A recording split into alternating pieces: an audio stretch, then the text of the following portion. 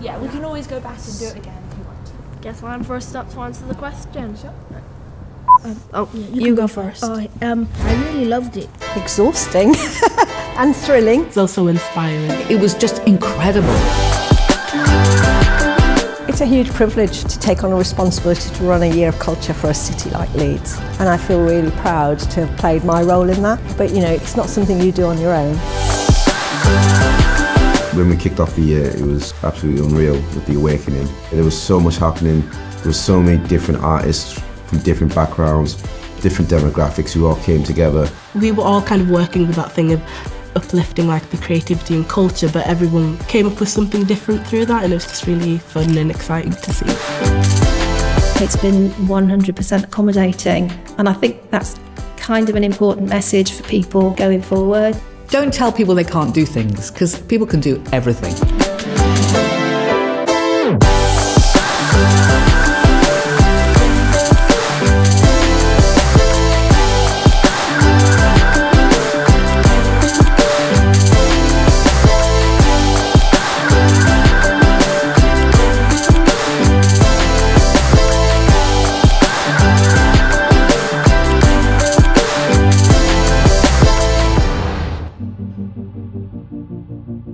Had a kernel of an idea about this notion of a barn. Art's often a metaphor for something, but I was interested in creating something absolutely real. Women are very rarely involved in actual construction. They don't use power tools, hammers, screwdrivers, etc., but they want to. And I'd seen in a number of, films this idea of raising a barn in 24 hours as part of a kind of community endeavour. So I was excited by the idea that in Leeds, 300 women would get together and raise a barn. And in that barn, they could then say, This space is ours, and this is what we want to talk about. Everyone's just willing to get stuck in, getting on with the job. We can do these things. The traditional jobs that men used to do, women and non binary people can do as well. I hoped for an, a, gasp of, oh my gosh, they did that, we did that. And we did get that gasp. It was amazing. Um, and I hoped that there'll be a legacy of the actual physical thing, which there will be because it's going to a farm, a city farm, to be used for education. But I also hoped, most significantly, that the women's dreams would be enhanced and that they would sort of think, well, I can do a lot more than I think I can do. I can do a lot more than I've been told I can do. And uh, I can especially do it with lots of other women. Convening relationships between artist to artist, company to company, community to community. Out of that comes some extraordinary collaborations.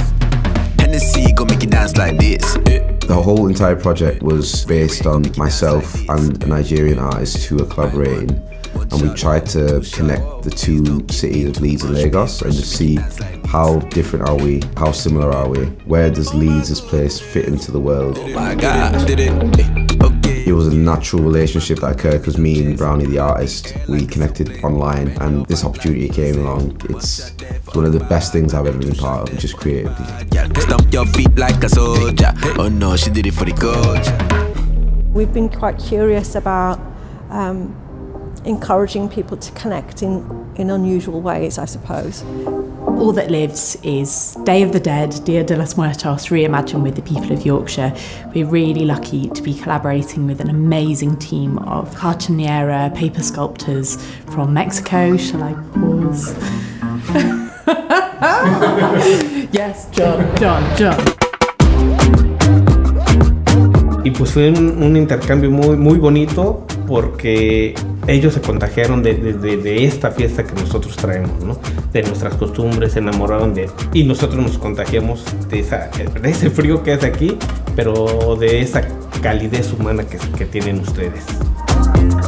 We have a bit of a mantra in the project that it goes from Leeds to Mexico, from silence to conversation, from being alone to being together. And I guess my hope is that people leave with a lighter heart and also with some ideas to prompt new ways of remembering people they've lost.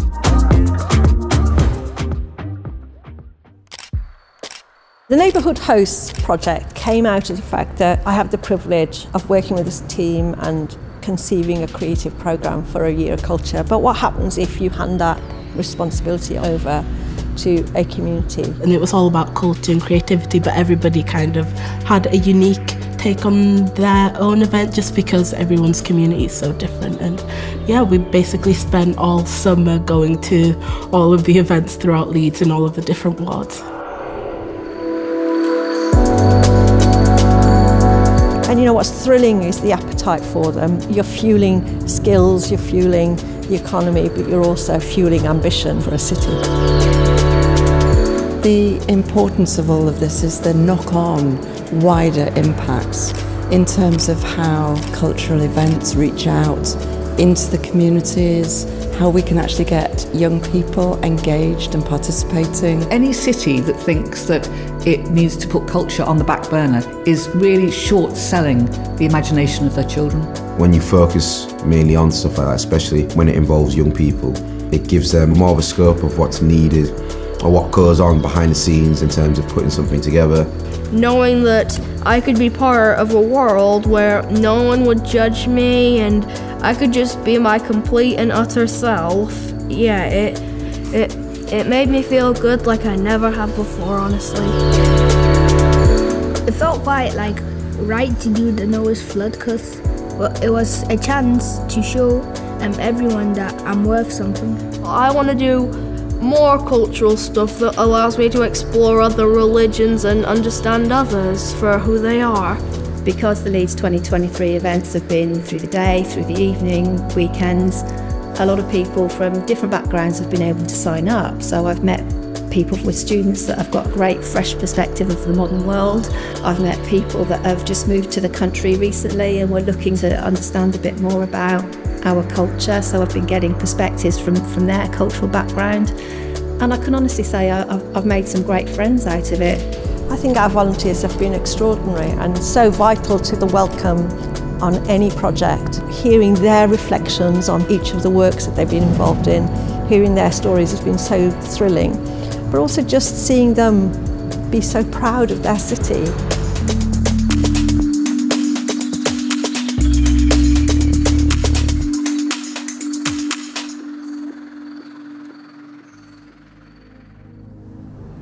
I think all art is an act of provocation in many ways. It's, um, it's part of the job of the artist to provoke and, and create curiosity and ask questions, right?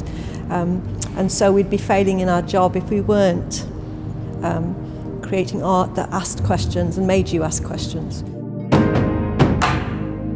DOMA is uh, short for the David Oluwale Memorial Association. And in 2012, we had the idea for having a, uh, a something to commemorate David.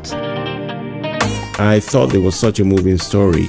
I wanted to make a sculpture to commemorate um, his life, but I wanted to take a more positive approach uh, to the work.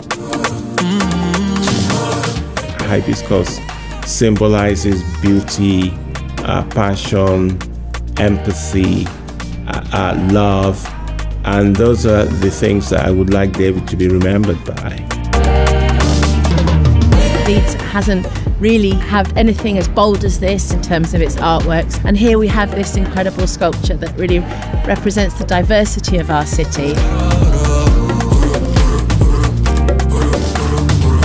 But there is also, in that act of making art, the act of telling a story and a new lens to look at something for a city. And I think that we've done that in bucket loads. Celebrate cause we got one life, but for one night. Where you go? It's really nice to feel that our voices have been amplified and that we're reaching audiences that maybe don't engage that much with contemporary art.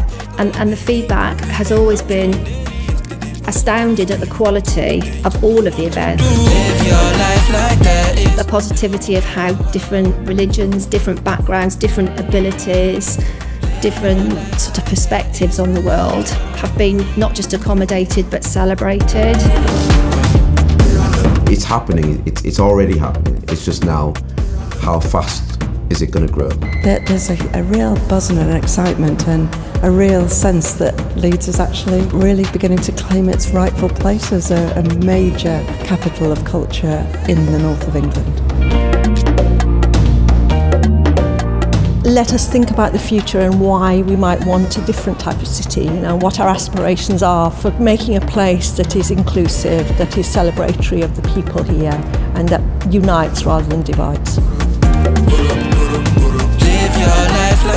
What legacy is really maintaining optimism and commitment to something which is quite ephemeral and hard to describe, but you know when you've made great memories and you know when the future of your children and your grandchildren is that much more varied because they think this is a place where things can happen and I can do things. It's been a really amazing, exciting journey, and I feel like even though Leeds 2023 is over, I feel like my own personal journey is just getting started.